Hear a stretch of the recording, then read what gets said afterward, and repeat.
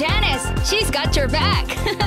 it feels like when she cheers for you, you can do anything. Let's really go for it. Ready? Elbow tuck and punch. That's just what I like to see. I'm Hero. Nice to meet you.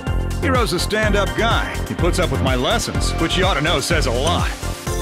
What shall you and I work on today? Weave little more, and then I can treat myself to some barbecue. Mmm. Ribs. Nice to meet you. I'm Karen. Karen's one of the best when it comes to instructors. Mad respect for that girl.